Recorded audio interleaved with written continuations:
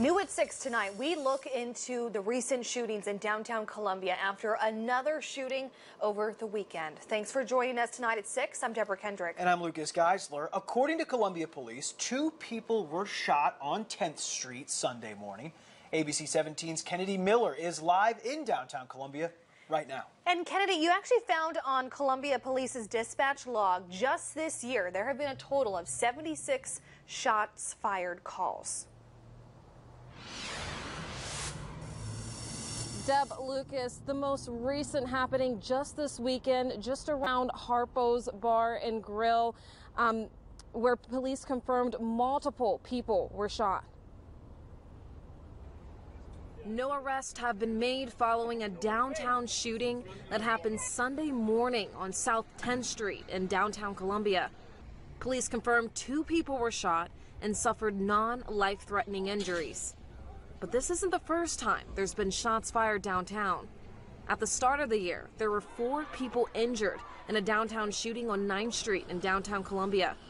In April, police made two arrests in connection with a shots fired incident happening on 9th and Cherry Street that sent one person to the hospital. Definitely something that's affecting our community, our small businesses, and we'd love to do whatever we can to help them uh, figure out ways to to start correcting this.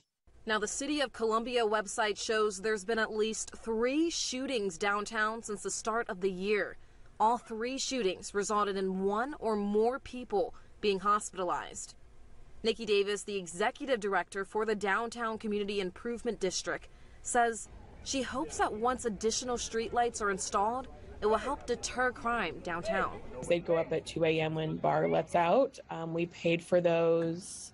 Um, about 90 streetlights that we're hoping to get installed, and I think, um, and all of these incidences, they would have been very helpful if they were installed already.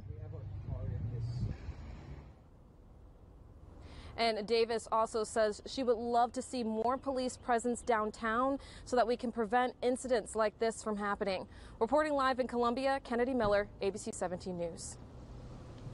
All right, Kennedy, thank you. Davis says that she's hoping to get a grant in place to install security cameras outside of those businesses.